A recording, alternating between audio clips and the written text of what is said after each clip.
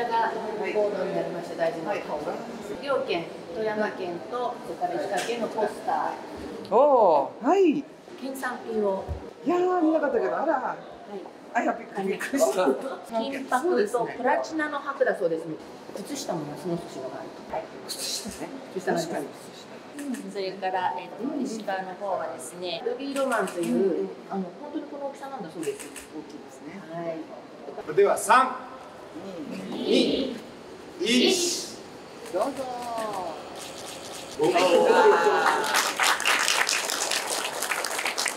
2つの都市で、えーまあ、共同開催というのは初めてなんですよ。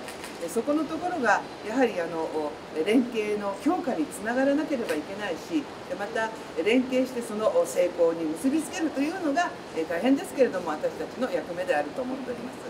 あと50日です成功これ2つにしっかりと結びつけて、え頑張ってまいりましょう。どうぞよろしくお願いします。